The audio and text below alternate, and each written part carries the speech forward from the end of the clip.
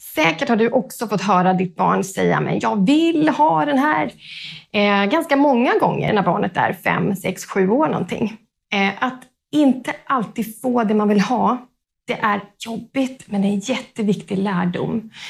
Eh, och när man står där, till exempel i leksaksaffären, och barnet vill ha den här leksaken, då är det jätteviktigt att stå emot. För barnet kommer säkert försöka argumentera och övertala dig, förhandla.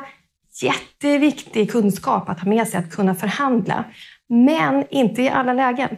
Här gäller det ju faktiskt att stå emot Barnet har en omogen hjärna och har svårt att tänka långsiktigt och se konsekvenser. Och här behöver vi som föräldrar eh, kliva in och ta hand om det och hjälpa barnet att stå ut med den här jobbiga känslan. För att förstå och hantera känslor det är en jätteviktig del av utvecklingen och det hänger jättetätt ihop med den här ekonomiska kompetensen. Att den där spontana känslan inte styr våra beteenden så vi står där och gör impulsköp som vi sen får ångra. Hur pratar vi då med våra barn om skillnaden mellan vad vi måste ha och vad vi vill ha? Ja, det här är ju också viktigt att få med sig, en kunskap om vad vi faktiskt har rätt till och vad vi måste ha.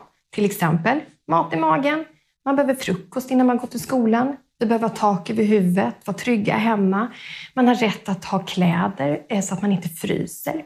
Men det allra mesta vi har, det är ju saker som vi vill ha. Och Det här är en väldigt tydlig skillnad och här kan vi hjälpa barnen att börja prioritera eh, kring det som de vill ha. Till exempel, jag vill både ha en boll och ett hopprep. Men då kan man välja till exempel bollen först och så kanske man köper hopprepet om några veckor. Barn i den här åldern de utvecklar en möjlighet att kunna se konsekvenser av sitt handlande. Och här kan vi faktiskt lära barnen att prioritera bland alla saker som vi vill ha.